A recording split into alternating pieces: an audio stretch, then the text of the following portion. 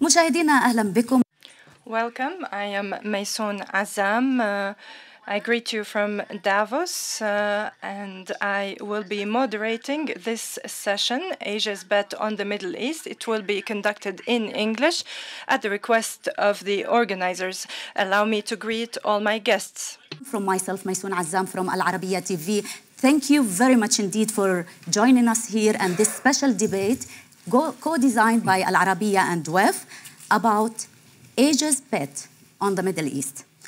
After America started shifting its uh, focus away from the Middle East, and uh, as Mr. Trump said, US doesn't want to be the policeman of the Middle East. Economic and political cooperation between Asian countries is seen by many to be much needed in the region. Actually, many in the region believe that it's necessary to expand beyond the energy trade.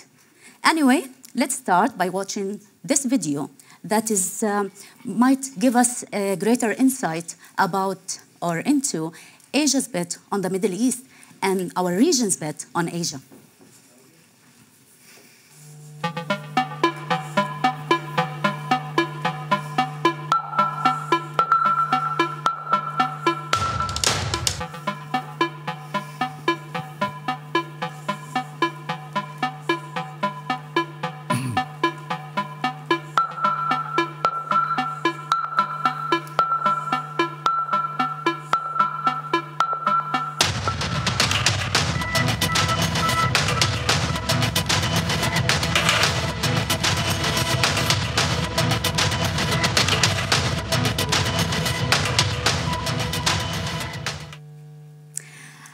Ladies and gentlemen, allow me now to introduce our uh, distinguished panelists. To my right, of course, Mohammed Tuwaijri, Minister of Economic and Planning of Saudi Arabia.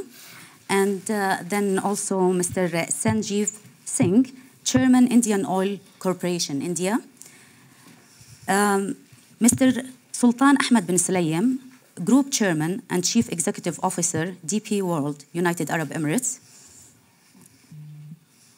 Shinichi Kitaoka, President, Japan International Cooperation Agency, and Mohammed Tuwaijri, sorry, excuse me, Dr. and Dr. Fuad Hussein, Deputy Prime Minister for Economic Affairs and Minister of uh, Finance, Iraq. Welcome, and allow me to start with Mr. Kitaoka. Um, sir, how do you foresee Asia's uh, economic priorities in the Middle East? Uh, needless to say, the smooth and uh, stable uh, import of oil comes first. And then uh, uh, this is uh, not easy.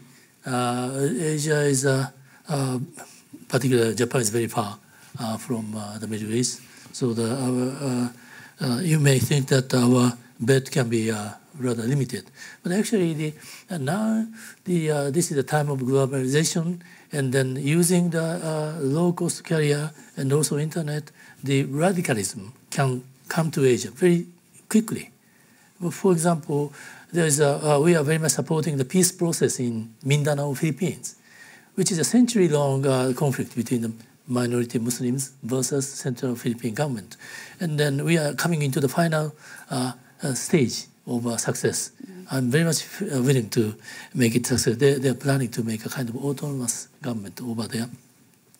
Uh, also, uh, there was a you know element uh, that took place in uh, Marawi in Philippines again.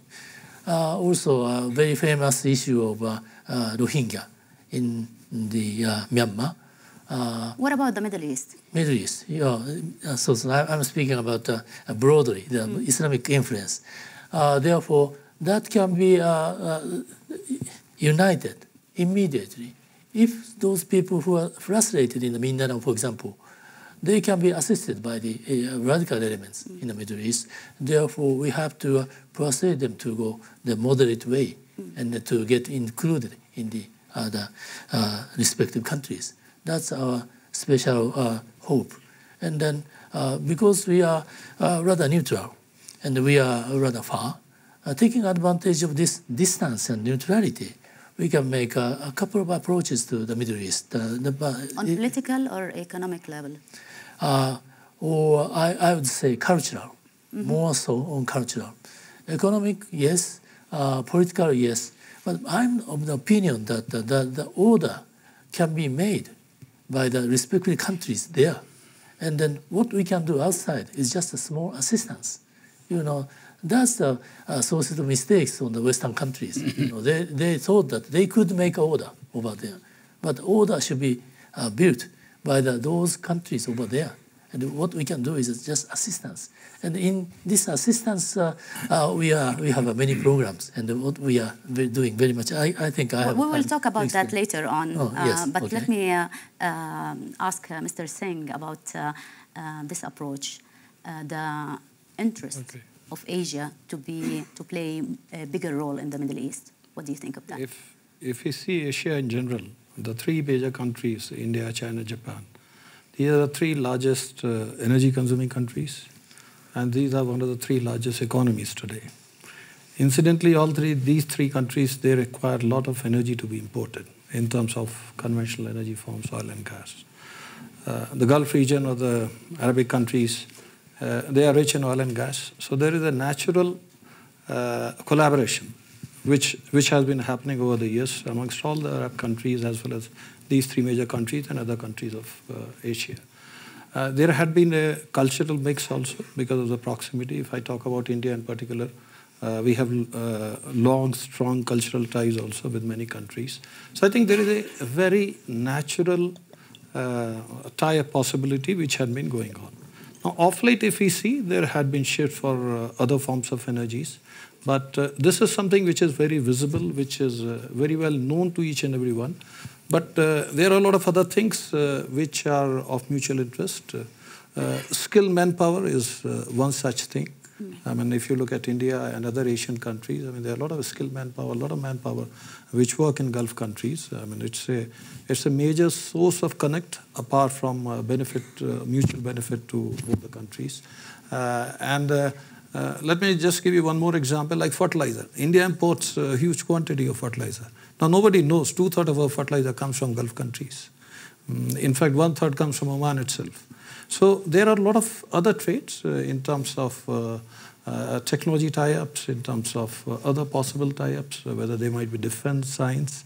Uh, I think there are a lot of other opportunities which are opening up today. That's interesting, uh, Mr. Tuwaijri. Your Excellency, uh, is Saudi Arabia is interested in seeing an ex- expansion of uh, uh, the economic relation between uh, Asian countries and our countries to go beyond oil? So the short answer is absolutely. Okay. But let me just rebuild on the oil. I think the real question around oil supply is credibility and sustainability. So I'm sure Asian country wants assurances that when they needed this energy, they got it on time. So I think Saudi Arabia and the rest of the GCC, particularly the UAE, can provide that very specific demand. Not like Iran, for example? Not like Iran, absolutely. Uh, back to the uh, future, if we want to think about the way going forward, I think if we take Saudi approach to Asia, for example, uh, in the heart of our vision 2030 is strategic partnerships.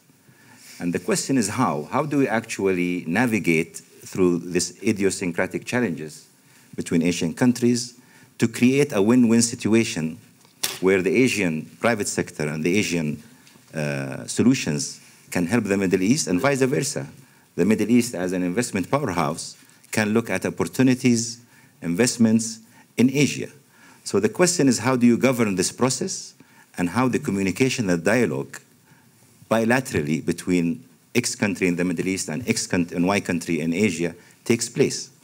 Uh, I would like to talk about Korea because we've done exactly that uh, with Korea, and we've identified around 50 opportunities. Energy is one of them, but there is there are others in digitization, education, healthcare, uh, other solutions in infrastructure. I recall when I was a little boy, Korean companies. I don't, I don't want to say which year, but uh, Okay. built actually a lot of built a lot of uh, uh, roads in Saudi Arabia. At that time, Korea wasn't doing very well, but we took a bet on Korean quality and Korean ability to construct and deliver. So now we're revisiting that and do more, hopefully, with, with them. Thank you very much, Dr. Fuad, uh, Your Excellency. Uh, what challenges that Asia's growing footprint in the Middle East pose for the region in general and Iraq in particular? Uh, it is difficult to say uh, what challenges, but uh, anyhow, relationship between uh, Middle East and, in this case, Iraq and other Asian countries, because at the end, Iraq is also part of Asia is important. So it depends on the needs of the country, and in this case, needs of uh, Iraqi society and Iraqi country. But it depends also on mutual interest. But uh, we must take uh, also the political dimension, the geographical dimension, the cultural dimension into consideration. So if you will collect all these elements uh, at the end, there is a need to establish good relationship with all uh, Asian countries. Could you give us an outline of the main um, features of Asian presence in Iraq? You see, um, we have established a very good relationship with Japan, with South Korea, with uh, China. They are very active in various fields of uh, the economy in Iraq. And uh, in India, they are uh, active in Iraq. I must say, most of the Asian countries has got their uh, activities inside Iraq, and uh, we are happy with this relationship. Mm -hmm. That's interesting. Uh, Mr. Sultan, do you have precise figures of the Middle Eastern investment in Asia and vice versa, or no? I know about our investment, multi-billion dollar investment in Asia, mainly in, in ports, infrastructure. Uh, we are almost in every Asian. We, are, we have three terminals in China, uh, two terminals in Hong Kong, we have two in uh, Philippines. We have one in Thailand, uh, Vietnam. Uh, we are the the best and most important port in Korea and, uh, in Busan. we are in Indonesia, and so Asia is an important market for us because there's a lot of growth in Asia. And, and I tell you, a lot of time people talk about China and they talk about how slow the growth in China. Our ports are growing. And when you look at uh, the size of the Chinese market, six and a half percent is a lot for growth. Okay, when, when we talk about the port, uh, especially yes. Dubai port, uh, what about their uh, involvement in the port? How big it is? And we're talking about Asia in general, not only China. Um, well, I mean, we, we own these ports, we manage them ourselves. Uh, we're investing in technology. Mm -hmm uh, which is interesting. And, and, and what, what something I want to say, really, to do with the ports, is that the world is changing in the sense the nanotechnology, the 3D. Uh, a lot of time, people talk of technology, but they don't realize how much it's going to impact our business. For example, in uh, India today, we are the largest operator. We have uh, five terminals, one in Mundra, one in Nhava Sheva, one in Cochin, one in Chennai, one in Visakhapatnam, and very soon in Kalpi. Plus, we have all our own, rail, rails and uh, dry ports. Uh, the shifting in technology, today the mobile phone is not made by humans. There is no way a human can make the phone anymore with the nanotechnology. Sony, for example, they're not making televisions. And I, when I asked Sony, I said, is this made in Malaysia or is it made in Japan? Because I went to it made in Japan. They tell me it's made in Sony. They make the machine that makes the television. So very soon, not only in Asia, you will see that probably raw materials will come to ports for a specific consumer and the product would come. Mm -hmm. uh, to make a television is not that uh, really difficult. Uh, in fact, Sony, one of the largest manufacturers of machines that make television, they sell them to China, they sell them to Korea, other people will make them. So today is really the, the, the, industry of the mind and the knowledge is what's facing us. And in that sense, we are also adapting our role. So our role in the past is really how to handle the cargo from the time the ship comes to the quay until the cargo leaves the gate.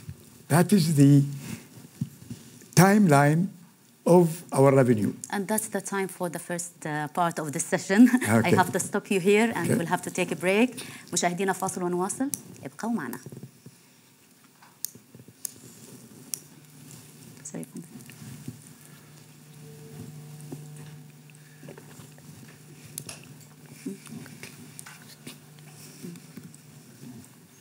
ما عليكم ممكن نظبط الطايح بس بس للنص بس تحت النص.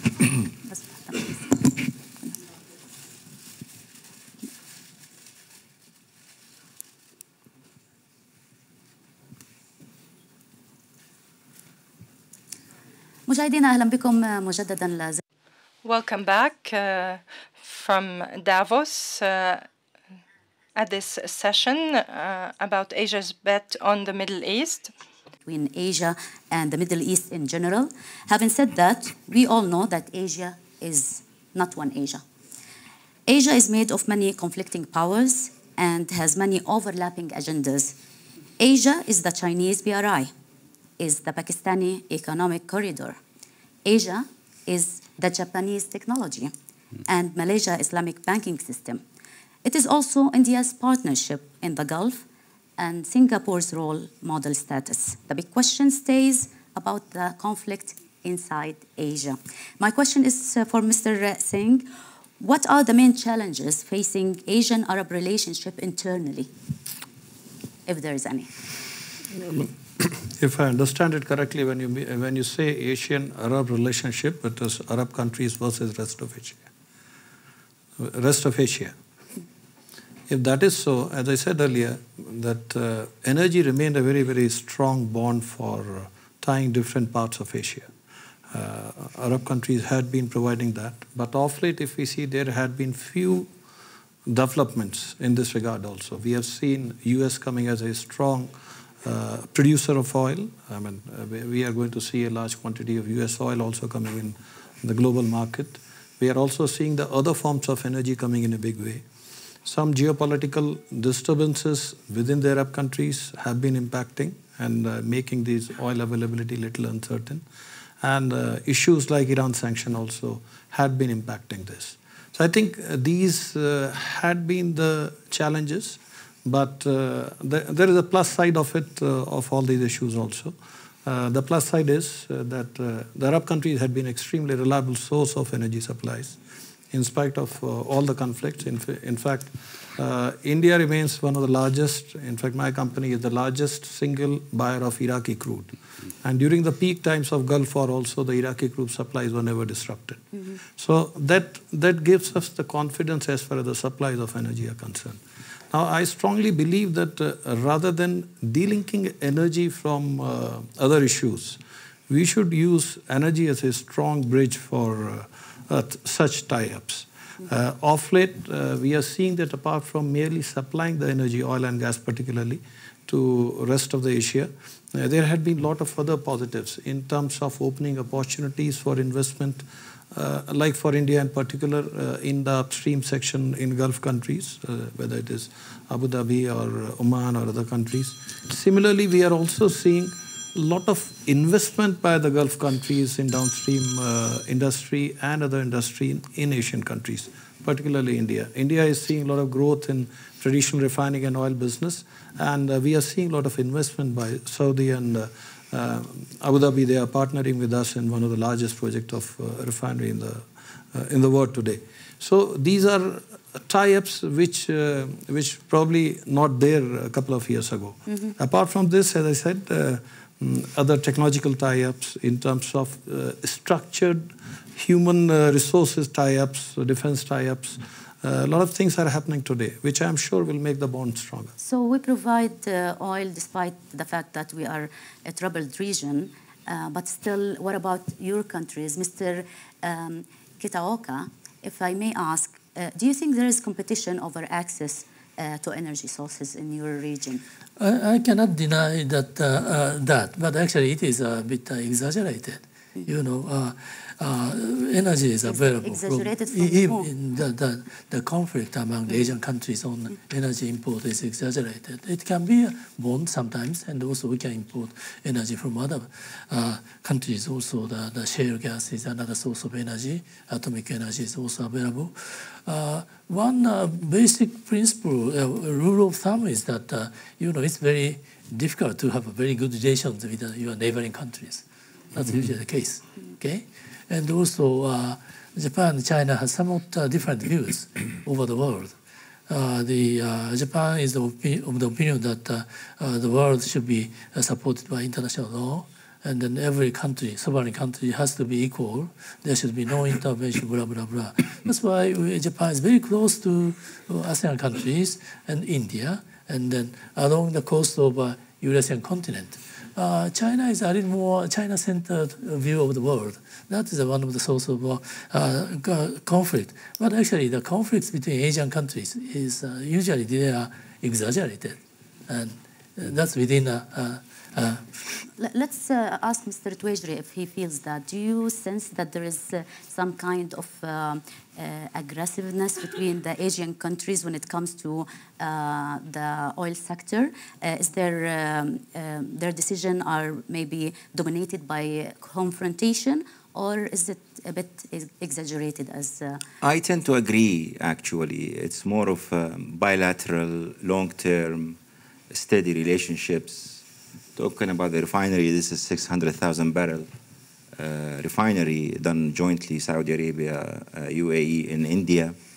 I also think because of Asia's challenge around energy, they've actually uh, developed alternative energy solutions, solar, nuclear, uh, and others. And uh, in our part of the world, we're also diversifying our economies away from oil. So I see a natural flow uh, of Asian solutions, China, Japan, nuclear, Korea did in Abu Dhabi, into the Middle East, which will help us ultimately both to grow our economies. Uh, we can do a lot with the money from oil to reinvest back, and they can also promote and transport this, uh, these technologies back to the uh, Middle East. One thing that is clear to us here in Davos, we celebrated with two Japanese banks opening their banks in Saudi Arabia. So funding, a lot of uh, liquidity is out there chasing zero interest rates assets, whereas the Middle East provides a significant projects where yield is uh, better, uh, credit rating is excellent, and the know-how is there between the two uh, continents. I think also this flow will help facilitate everything else. Uh, projects in infrastructure, projects in water solutions, desalination, and uh, other uh, energy and electricity solutions. That's interesting. Dr. uh, Fuad, uh, um, having Japan and India hand in hand with the Americans in a way uh, on political level, and China being on the side and under pressure, and knowing that the Americans are on the ground in Iraq, um, any effect from the situation there or their political positions or no? No, I don't think so. You see, it, uh, first, mm, we are forming our policy uh, towards these countries. And um, as we want to have good relationship with the United States, we have good relationship with China and India and Japan. Uh, and many Japanese companies and Chinese companies and uh, Indian uh, companies are there. They are there. But uh, of course, uh, we must not ignore the political side of the uh, issue. I mean, uh, nowadays we are talking about a kind of tension uh, in, uh, between China and, and United States. Uh, That will never affect. Uh, So, okay, then we will see- we see China to decide uh, uh, to deal with both of them, or No, no. We decide for ourselves, and we decide how to uh, our, exactly our political conduct. But uh, anyhow, this tension between China and, and United States um, uh, push China more to be more active in Middle East and uh, among these countries also Iraq. We see uh, almost every day Chinese companies coming uh, to Baghdad and uh, trying to invest or establish good relationship with us. It has to do with this tension with the United States. I mean, this political uh, dimension because China is heading, was already heading towards Africa, but nowadays they are heading towards Middle East. So they are adding Middle East uh, to their uh, uh, to Africa in their influence. So, uh, this is, I don't know if it has to do with this political tension between the United States and America, but it is obvious for us after this tension the Chinese are more active in our area. okay? Uh, If I may Yes. uh, comment on His Excellency, I think it's the technology piece that really matters and the outcome of the negotiation around technology. Because the region, Middle East and Africa, will be in a very awkward position if they have to choose ultimately which technology they go with, US or China. Not only is it going to be very expensive, but it's also going to be very hard to make that decision. So maybe the trade or the bigger picture, they will resolve it probably one way or the other, but that piece is still a big puzzle for the region. Uh, so we, we're watching really with a big interest uh, how they will end up the discussions. Um, uh, Mr. Sultan, uh, when we talk about Asian, one Asian guy commented that I don't and said, I don't trust us. Do we trust the Asian? And I'll take uh, one example, uh, China, uh, and what is uh, described as the debt trap diplomacy they use. Can you comment on that? um, we do business in China, we do business with everybody, and it's not a matter of trust, really. Uh, we see where our business is. There is value for us, there is value for them, and every business, at the end of the day, you make a decision in which way you have. Uh, I think uh, China is a great country, and China is, is a country that has great respect, great civilization, and, the, and how China built their country from 87 when there was nothing until today. It's amazing in every aspect, including uh, not only even environmental. China is have pollution. There's no pollution. The, the issue today with, with, with China, with not with China itself, but with the companies. Some of the companies in China uh, created this debt trap where they overextend loans to countries in the goal of taking over their assets. And it happened in uh, Sri Lanka where they gave them loans they couldn't pay. They took their assets. This practice, uh, I term it like predatory practice, whereby this is not a business practice. A predator will, will, will do this. Uh, now, many Chinese companies are great and we deal with them, we have great respect, but some of them fall in that trap. And that tarnishes China's reputation as a country, which really helps and, and contribute to others. Hmm? Does it scare you? it concerns us because it happened to us in certain areas, like Djibouti, for example, where they overextended loan they couldn't pay, and they ended up uh, confiscating our port because they have to pay. Uh, these kind of practices is not good for the reputation of China. It's unfortunate that some of the Chinese uh, companies practice it. This is not accepted by the government of China. Uh, when, we when we talk to them, they, they don't like what, what's happening. But unfortunately, it tarnishes their reputation. Mr. Singh, why do we have um, Japan uh, and India as friends, but not China? I can't say that because. well, if we watch the I, visits I lately. The, ex the, extent of friendship might differ, but um, we are friends almost with all the countries within Asia. With Japan, we have different kind of tie-ups, and with China also, I would say that uh, we are open to for business tie-ups. There are a lot of Chinese companies which are operating in India today. We source a lot of material from China. Uh, of late, uh, there is a strong drive within India to do make in India. So whatever we can do within India, we want to promote all those uh, things, whether industrial or uh, futuristic also. Uh, but uh, we are absolutely open for all commercial tie-ups. And are they, are they open? Do you feel that they are open? yeah, they are definitely open. Mm -hmm. Yes, sir. Mr. Uh, Yeah, I, I, just wanted to support his remarks. You know, for example, uh, that in China, business practice can be influenced by politics too much. You know, if Philippines, for example, uh, if China finds Philippines a bit uh, defiant, then they will slow down the process of import of a banana from Philippines so that they can be rotten and of, uh, will become of no use. Then uh, what we are very much willing to do is uh, just a business as business. You know, a business should be conducted as a business practice. So this is something we can do in, with India and with the Arab countries and with most of the countries. But in China, uh, there, there are something, sometimes uh, too much intervention from politics. You know, this country is uh, defiant, so uh, let's punish this country. And also, uh, uh, because I'm an original university professor, I have many scholars in China, and I, I, have very good friends, and I have a very great admiration for Chinese uh, development. But now the scope of uh, freedom for Chinese scholars is limited to minimum. Very, therefore, I cannot make a telephone call for them because it is everything is monitored by the government.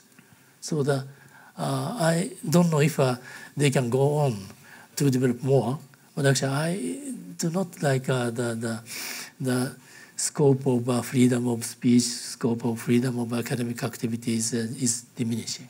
I don't Uh, like. Dr. Fuad, does it, uh, do we care if they have freedom of speech or uh, anything else when it comes to dealing with the Chinese or any other Asian country? Uh, of course we care. Uh, it, it is about human being. But uh, at the end, when we are talking about uh, relationship between two countries, then you are talking about the interest between these two. You see, uh, as uh, here has been said, um, when uh, ideology is guiding the uh, trade, and when politics is guiding mm, the the relationship, trade relationship, then there is something wrong. But when it is about business and choosing the right things for your country and on the basis of the interest of your country and on the basis of mutual interest, then it's good. But uh, of course, uh, uh, human rights is an issue that uh, that's part of uh, our uh, thoughts and our policy. Okay, uh, we'll have to take a break right now. مشاهدينا فاصل ونواصل. Let us stop now and please remain with us.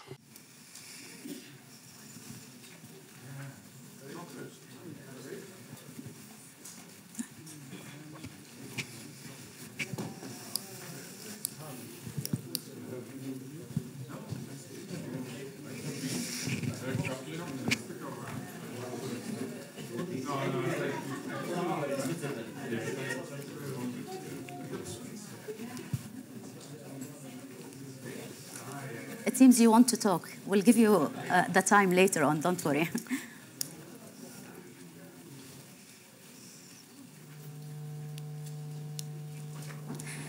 مشاهدينا اهلا بكم مجددا Welcome back. Uh, we are still here in this special session under the title Asia's Bet on the Middle East.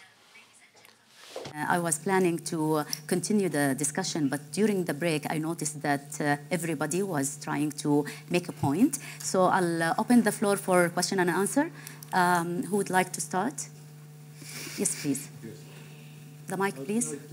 One second, sir. One second. about what's happened between Uh, Could you please introduce yourself first? My name is Hamza Al Khouli from Riyadh, Saudi Arabia. I would like to ask you about the situation, like we feel it's went out of contest dealing with Mr. Carlos of Nissan and Renault in Japan, which is affecting people to go and uh, to Japan and invest or deal with because it's really out of contest. The case of Carlos Ghosn. Yeah, Carlos Ghosn, yes.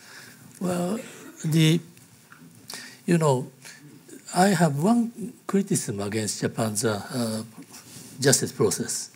You know, they detain the, the uh, uh, not only Carlos Ghosn, but also many people for, for too many weeks, too many months. But uh, uh, according to the information uh, which is now revealing, uh, it is quite likely that he has committed quite a serious crime. That's it. Well, at, at the end of the day, the court will decide. Uh, it's about the trust, I think, rather than a certain uh, case. And this, I might ask uh, Mr. Tuwaijri about it. How um, much do we trust the Asian? I think we should also not forget the private sector role, business to business. I mean, the Hyundais of the world, the Toyotas of the world, and many other Chinese companies who've demonstrated commitment, demonstrated a lot of success uh, stories in the Middle East, and the list is very long, and vice versa. Many of our private sectors in the Middle East have also ventured out to Asia and succeeded. Uh, Aramco is a classic example where they have one of the largest uh, refineries in Korea and India and in China. So let's not forget that. I think if we want to talk about trust, we should always think long term. This is not something we can switch on and off. It will be built on evidence, it must be built on trial and error, it must be built on success rates. And I will uh, depend on the private sector to lead in the future. Our own diversification story will be hopefully private sector, sector led, and many of the Asian countries have also been successful because of a strong private sector. Um, any other question from the audience? Yes, please. My name is Yahya Sarkhan from Palestine. On? Yeah. Yahya Sarkhan from Palestine. Um, the question I have uh, do you think, to the panel, of course, democratization and also uh, uh, advanced technology and also modernizations of economies is a factor of building more stronger relationship between the Arab and Middle East regions to the uh, rest of Asia? Would you like to start, sir? I think uh, uh, trade uh, between nations needs an open society. I mean, uh, that means more democratization can lead to better trade relationship between uh, different nations. Uh, at the end, we are talking about private sector also, not only government relationship. And when we are talking about private sector, private sector needs a different atmosphere, a different political atmosphere also, not only uh, uh, uh economic structure, but it needs different uh, political structure to grow and to have good relationship with the outside world. I think democratization will help. Democratization of the society, rule of law in the society, role of uh, the role of the woman in the society, youth in the society. I, I, mean, all these aspects together can lead to better relationship and to establish a good uh, trade with other countries. Sir. Oh, yes. Uh, let me speak uh, about Indonesia, for example, to, to show the, the meaning of the relationship between democratization and development. Uh, Japan, JICA has started to assist the Indonesian economy since uh, 1950s. Mm -hmm. And then at that time, also in the 1960s, uh, we are criticized by the Western countries very much. Why do you support such a dictatorship? Mm. And we are supporting them with the hope of that they will become rich, and by uh, first of all by creating infrastructure, and then based on this infrastructure, Japanese businesses went into Indonesia to create export industries, and then the economic level went up, and which created the massive middle class. Based on this rise of middle class, there was a democratization took place. Now Indonesia is one of the most democratic countries in East Asia. Mm -hmm. That's interesting. And uh, basically, here, yeah, if I may, yes, here we see the um, interaction between uh, growing economy and uh, democratization process. I mean, the question in some societies is, uh, are we going to start with democratization process or are we going to start with establishing the middle class so that we can have a good democracy? This is a real question. But at the end, uh, if we are talking about future, we need an interaction between the grow, growth of the economy, but also the process of democratization must be there. Yeah, exactly. And basically, uh, a while ago, we were talking a lot about China, and uh, um, let us watch this video that will uh, give us a better understanding of uh, the projects they're doing in the region.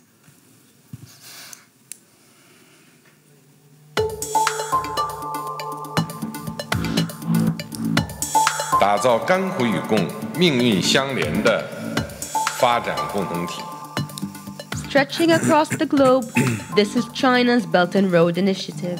The Belt and Road, also known as BRI, was announced by Chinese President Xi Jinping in 2013 and has since been understood as a revival of the ancient Silk Road an ambitious effort to improve infrastructure, trade, and investment between China and some 70 other countries, a grand plan to connect Asia, Africa, and Europe. It includes one third of the world trade and GDP and over 60% of the world's population.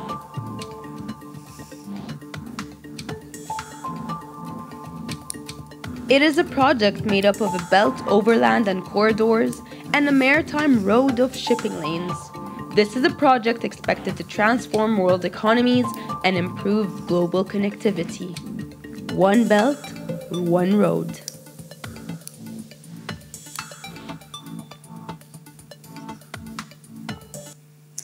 Mr. Singh, your uh, country has a good relationship between uh, uh, Saudi Arabia, between Israel, and between Iran. How long do you think uh, you can keep um, uh, this relationship uh, balanced?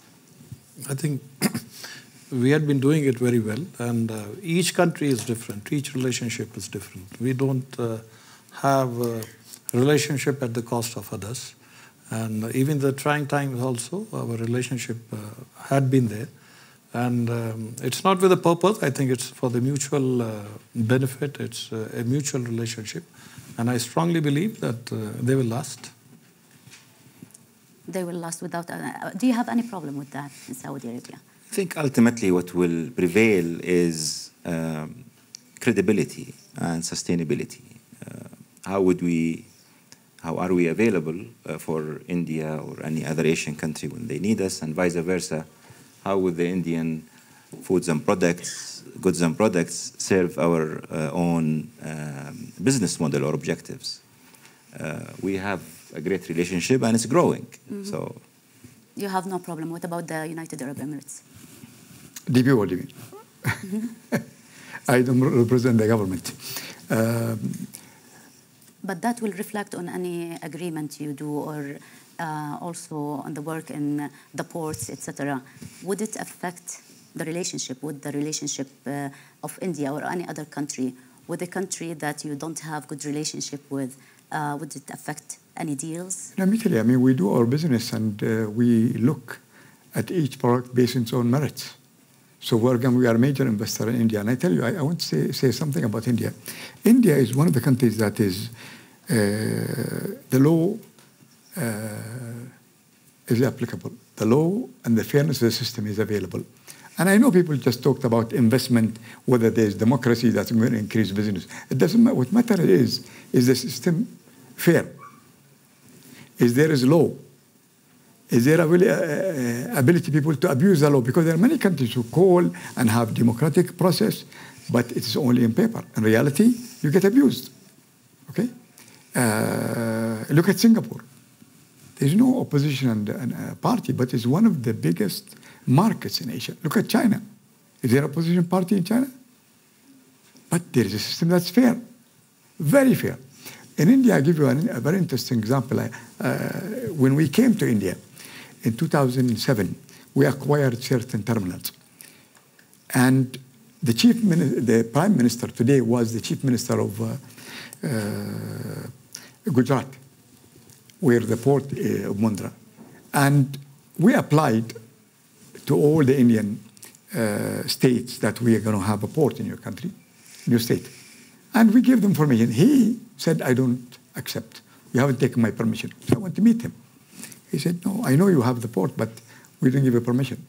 And so he said, You have to leave in a meeting. I said, I'm not going to leave. We have a court, and we take it to court. We took it to court.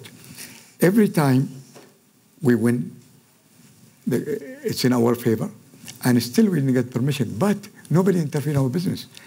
He, as the chief minister, he could not influence the law. The judges are appointed from the federal government. And Now he is prime minister, and I met with him, and he said, "No, you're welcome. I have no problem with you." India is a democracy, not on paper. Nobody can influence the law in India. Now, when you look at India and China, two great countries with 1.2 billion, roughly same population, the trading of China is 100 million containers. The trading of India is only 10 million. There's a huge potential for growth in India. And the policies of uh, the Prime Minister today in opening India, in made in India, in, in, in removing many of the obstacles. Today, India is the fastest in growth, huge growth and huge potential to grow. And we are very bullish about India, and we uh, are investing, invested uh, billions, in not only in the port, but in the logistic and the supply chain and a lot of these things. I think what uh, we face in the Middle East, uh, trading agreement that are respected. Uh, what we face, maybe some development in the hard structure and in the soft structure. Each country have their own system of custom clearance. So even though you get a cargo, I'm talking from my position, that could go so fast, you would spend days because of some paperwork. Uh, there need to be improvement of that system.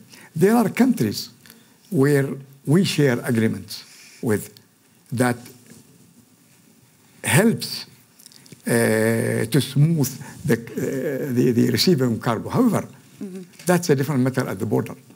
Yeah. There's a lot of potential in the Middle East, but very little inter uh, countries trade. There'll be trade from outside, but, But inter trade needs improvement Of course. of soft and hard facilities to improve trade.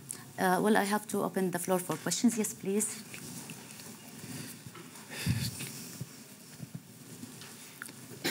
Thank you very much. Christina Lampe-Önnerud. I am a co-chair for World Economic Forum's Future of Energy Council, also a two-time tech pioneer.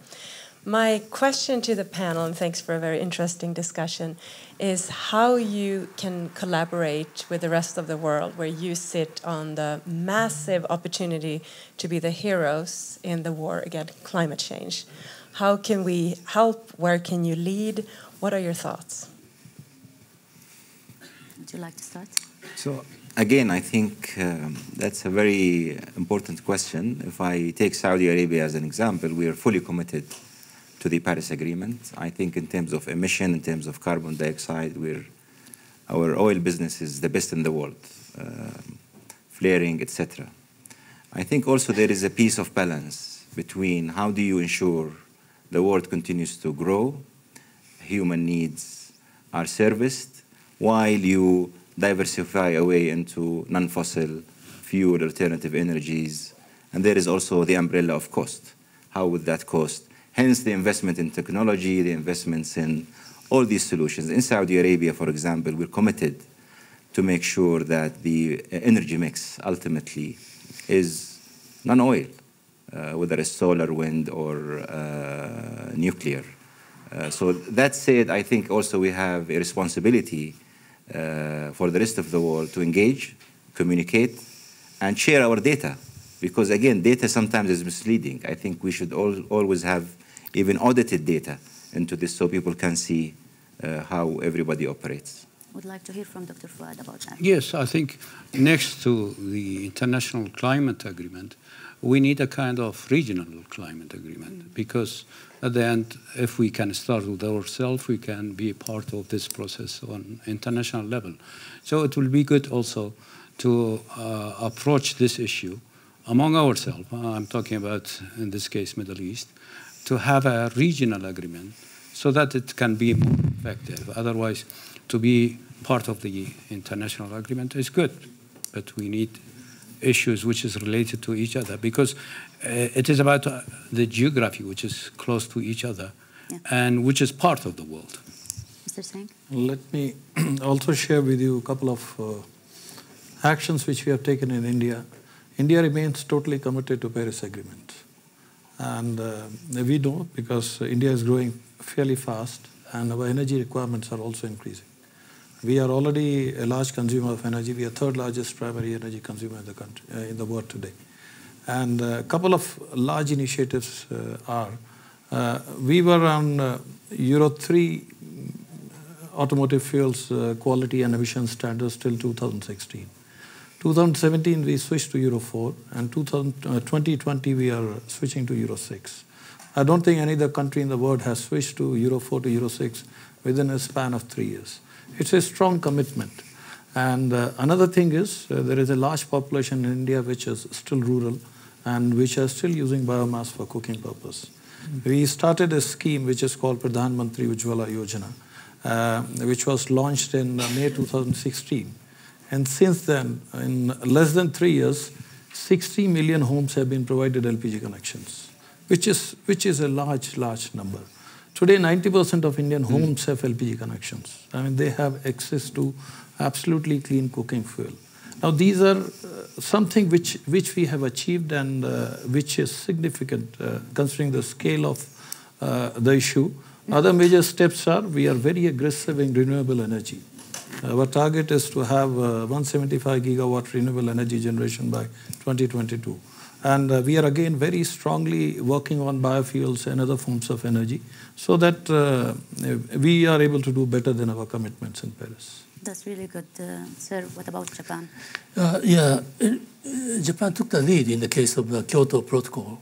Okay, but in this issue, uh, there, uh, now Japan is a little bit behind uh, from other advanced countries, uh, partly because of the uh, Fukushima Daiichi incident, which took the, brought a big damage on Japan's uh, nuclear plant. But uh, now uh, the things are changing. And then last year in August, I was appointed to be a chair of the economic development strategy within Paris Agreement. And then uh, he will, Prime Minister, by Prime Minister Abe, and Prime Minister Abe will announce Japan's approach in upcoming uh, G20 meeting. So you can expect what Japan can do. Not only that, uh, Japan is also, particularly JICA, is uh, contributing to the effort of uh, developing countries in all over the world, yeah. particularly the, for example, Amazon forestry and the forestry in Congo and many other places. We are assisting those developing countries uh, so that they can commit to this Paris Agreement. Mm. I hope um, those comments an mm-hmm. answered your question. Any other question, please? Would you like to add? No, I, I will add one thing uh, from a business standpoint. A lot of time people, when they look at sustainability and they look at uh, reducing the carbon emission, they think it's going to be a cost. From our experience, we saved a lot of money by converting fossil uh, engines basically in our equipment to electric. Mm-hmm. It's amazing. Mm-hmm. In, in the port, for example, in Jebel Ali, it was imposed on us actually in, in England when we did the port. And it was a cost until we realized it's saving us so much money because we don't have any breakage. Uh, we, are, we don't worry anymore about the uh, oil prices. So in Jebel Ali, for example, we consume or we need 30 megawatts for the buildings so far we have. We installed solar powers and we produce 40 megawatts. Now the interesting thing is in solar, if you are on the grid, it's very cheap because you take the power from the sun and you use it immediately. You don't need to store it. At night, we use the government uh, power. So when you want to produce something with solar, almost 80% is the battery to store. Mm -hmm. If you don't need to store, it's an amazing thing. Yeah. We saved a lot of money by utilizing uh, non-fossil, uh, you know, fuel and energy. So it's not a cost; it's an advantage. An investment, basically. Yes. Um, any other question? Yes, please. Thank you very much, Yasser Sharif. My question to the uh, panel: How would you perceive the latest opening up in markets between the two largest economies? in the Arab world, Saudi Arabia and UAE? Thank you. Uh, look, we, we want to basically uh, build a story of, uh, of hope to the region. Uh, and also, we think if Saudi Arabia and the United Arab Emirates cooperate on every sector, we can not only open trade but also facilitate Asian uh, businesses to the region. Uh, between us, we re represent more than 80% of the uh, region's uh, GDP. Uh, and if you think of the Red Sea, for example, and think of logistics, how would the two nations, if they put their act together and think of a network of logistics uh, between ports, airports, roads, land, etc., how can this help connecting Asia, Europe, and the Middle East? We also, in this cooperation council, we looked at every single opportunity where we optimize, optimize our financial resources, investments, landscapes, opportunities to invest together. So, in summary, hope for the region, role model, uh, and help the rest of the world through our partnership. Um, how do you receive the message from such uh, cooperation between the no, countries? Uh, any, any such uh, cooperation which is standing on the strong fundamentals is always welcome. Any comment? Um, anytime there's cooperation, trade increases. Uh, this is something we like as, as a port operator. And in fact, not only between us and Saudi Arabia, but any port we, we operate in, we work so hard to see how we can increase their GDP. Because there is a relation. If the GDP increases in a country by 1%, our business will increase by 3%, three times. So when we go to a country, we always do something called port-centric. So I have a port, I have an industrial park, I have to create jobs, I have to improve the purchasing power. Naturally, uh, the relation with Saudi Arabia has improved tremendously, and today we are cooperating a lot. A lot of time, uh, even though with the GCC they might agree on something, but a lot of time the customs in any country always create a problem. Mm. We came with an initiative actually I want to share, uh, which is one of the uh, things promoted by the World Custom Organization is something called uh, Authorized Economic uh, Operator, which is basically what's happening between the United States and Canada, for example. We did sign it with Korea. We signed with Saudi Arabia Customs, and we're going to implement it. What it is, is even though the country has no economic agreement, it is an agreement between two customs, and we will tie to with India. What it does basically is, with Korea, we will nominate the best companies in UAE, the ones who never evaded custom duty, don't have any issue, good financial standing. Uh, their record is clean. They never violated any law, and there's no court uh, case against them or never did. These will be the best. We, we nominate ours, they nominate theirs, and we treat them a different treatment. Yeah. Their product goes faster, easier, and all that. Uh, so far, uh, we have signed with Korea. We, we're going to implement Saudi Arabia. We signed in the beginning, and we're going to do with India. And I, I think that will, will help to move uh, product faster. I- I- we would love to do that. I I would like to ask you, uh, Doctor, uh, how do you evaluate your relationship with uh, GCC countries and Arab countries in general? Our relationship with the Gulf countries is good, and we want to improve it. But uh, as it has been said, uh, cooperation is positive. Uh, if we will enlarge that uh, in our area, uh, it will be. Mm, it will affect our economy positively. You see, we are talking about relationship between Middle East and other Asian countries, while it is also necessary to discuss matters among ourselves. yeah. Yeah, that's why when I mentioned the climate agreement, so we need also to agree among, among ourselves on other issues. Uh, so uh, Iraq has passed the difficult stage. The fight uh, against the terrorist state, ISIS, is behind us, although the organization is, also, is still there. And we have got a new government, new vision, new strategy for economy, but also new policy towards our neighboring countries to establish positive, good uh, relationship with all our neighboring countries. And of course, Gulf countries are important partners for us. And we wish you the best of luck. Thank you very much for your yes, please Okay. quickly in one minute. Yeah, yeah, yeah. As you promised that I have another time to explain about Japan's approach, uh, particularly on cultural approach.